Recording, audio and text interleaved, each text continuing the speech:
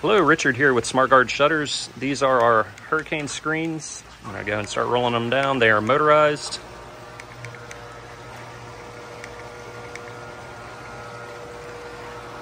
As you can see as they come down, you can see out pretty well.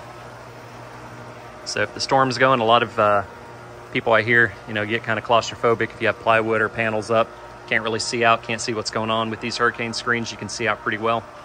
Um, double for sun protection. These screens do not let any wind through. Um, like I said, they are for hurricane. So as they're down, they'll provide some shade, wall off some things, or wall off your patio. Let me roll up one of these openings and show you what they look like from the outside.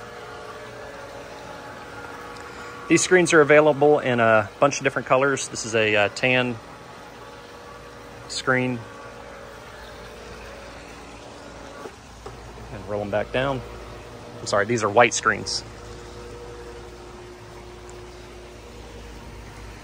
From the outside, they also will give you privacy because since these are a hurricane screen, they are very thick. It's a very thick material, so can't really see through it at all.